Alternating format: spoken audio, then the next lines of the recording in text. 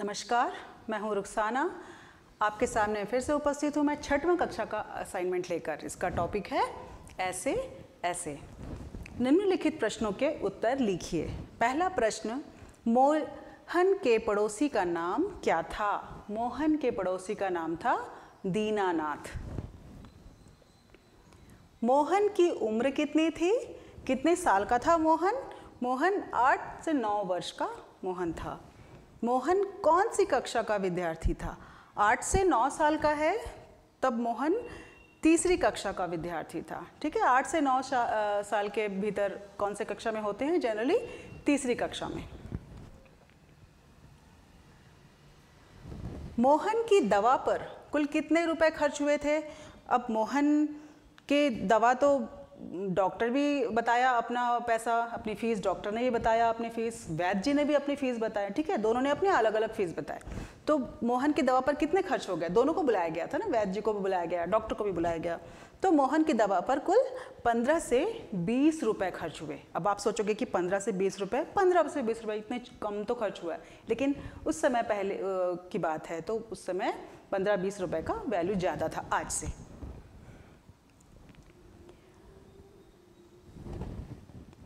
Master जी ने मोहन की बीमारी के बारे में क्या कहा था?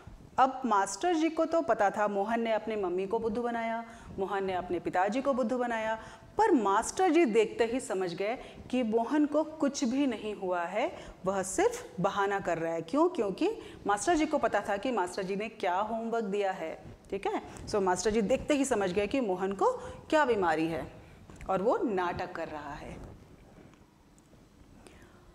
मोहन की माँ ने मोहन को कौन कौन से घरेलू दवा पिलाई? अब मैं यहाँ पर एक बात आपको बोलना चाहूँगी कि आपके पास मतलब घर में क्या होता है कि जनरली हम घरेलू चीज़ें होती है जो घर की किचन में हुआ, हुआ होता है।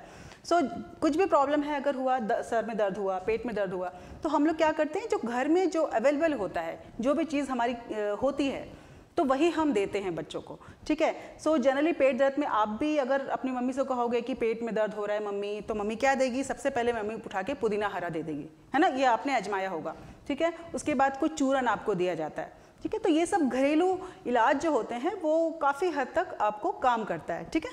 तो यहाँ पर वैसे मम्मी उसको हिंग देती है, हिंग भी बोला जाता है, पेट में दर्द है तो हिंग इस्तेमाल करो, हिंग खाओ तो उससे काफ़ी हद तक पेट का दर्द है, वो चला जाता है। दूसरा है चूरन होता है। चूरन में बहुत सारे हर्ब्स मिले होते हैं तो वो भी पेट दर्द में काफ़ी आराम देता है। पिपरमेंट भी खिलाया जाता है, जिससे आपको राहत मिलती है पेट में दर्द। तो ये सब मम्मी ने खिलाया। इसके बावजूद भी आराम नहीं मिला। आराम क्यों नहीं मिला? क्योंकि था ही नहीं दर्द, है ना? वो तो बहाना कर रहा था। तो आराम कैसे मिलेगा? आगे। दीनानाथ ने मोहन को किस स्वभाव का बताया? यानी उसको कैसे बताया? मोहन आ, कैसा था? मोहन कैसा लड़का था? सबसे पहले तो वो नटखट था ठीक है? शरारती पूरे मोहल्ले में शरारत करता फिरता था इससे झगड़ा करना उसको थप्पड़ लगाना ये सब किया करता था। तो दीनानाथ को पता था। जब मोहन को पेट में दर्द होने लगा तब दीनानाथ ने क्या कहा? कि देखो वह दिन भर तो इधर उधर घूमता फिरता रहता है। कभी इसको थप्पड़ लगाता है, कभी झगड़ा करता है, वो बहुत नटखट है। उसकी वजह से पूरा पड़ोस गुलजार किया रहता है। गुलजार मतलब चहल पहल किया रहता है। तो मोहन ने उसको ओवरऑल क्या बताया? मोहन के बारे में कि वो बहुत नटखट था।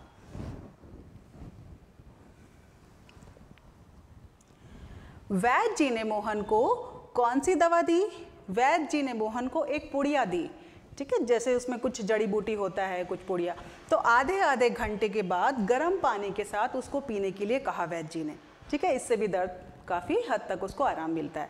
सो so, यहाँ पर वैद्य जी ने क्या दिया? एक पुड़िया जो आधे आधे घंटे के बाद उसको गर्म पानी के साथ लेना था। सो so, ये था हमारा छठवीं कक्षा का असाइनमेंट धन्यवाद।